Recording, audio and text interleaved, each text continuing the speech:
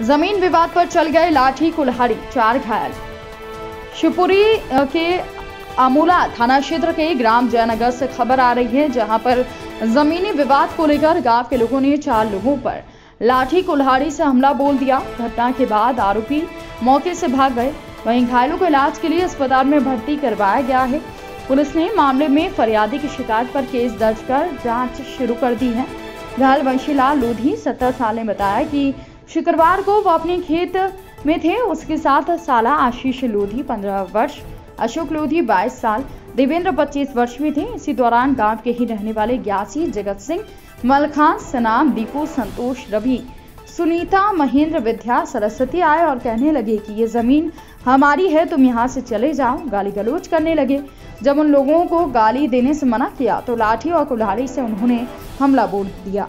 जिस पर हम सभी घायल हो गए। घटना के बाद आरोपित जान से मारने की धमकी देकर फरार हो गए। मामले की सूचना पुलिस को दी गई। वहीं घायलों को इलाज के लिए अस्पताल में भर्ती कराया गया है। मतलब खेत के ज़मीन के मतलब बारे में हम लोग डीएम साहब मतलब छूट दिए। जाओ, तुम लोग अपने खेत पे मतलब तुम लोग का अथू हो गया। हम लोग गए तो सब मतलब छेक कर। पापा को लड़ चला दिया और बाकी लोग गए थे, पीछे से हमला कर दिया और कुल्हाड़ी से मारा। है कौन कौन थे इसमें? नाम तो नहीं मालूम है लेकिन जगत सिंह ऐसी मतलब तीन चार लोग को कुछ कुछ नाम करके है।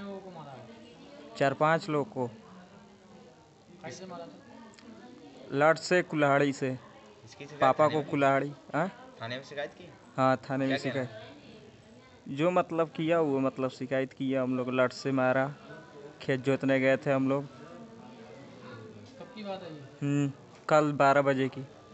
ज़मीन के बारे में, ज़मीन जोता दूसरा, और एस एसडीओ साहब ने चल रहा था केस एस एसडीओ साहब ने गए, वहाँ बोले आए कि हमने छोड़ी। एस एसडीओ साहब ने कही कि तुम जोतना और हम गए ज़मीन पर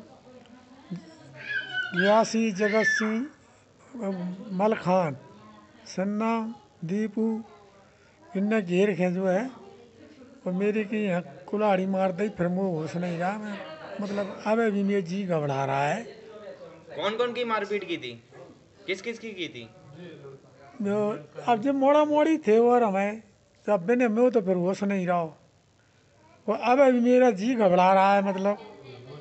जो नहीं कि मैं वो चक्कर नज़र नहीं घुमा पा रहा सही